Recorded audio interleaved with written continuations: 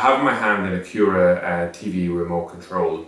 Um, it's available directly from freetv.ie and it um, uh, has the postal option uh, on it, so it's a low cost way of having it delivered. So it's a really robust remote control. Basically, when you receive it, you have two ways of programming it up. The first thing here is that there's codes built into it, so you can set it into a search mode, keep it going, and when your television turns off, you stop and you save that setting, and then you have it configured for your particular one. The other one is that you can actually go to the freetv.ie website, download this um, instruction pad that goes through both the manual uh, and entering code directly uh, method for programming it up. And what you would do that particular thing is you come along, you print off this, you have the name of the TV or a code that's on it, and uh, you enter it directly in, okay?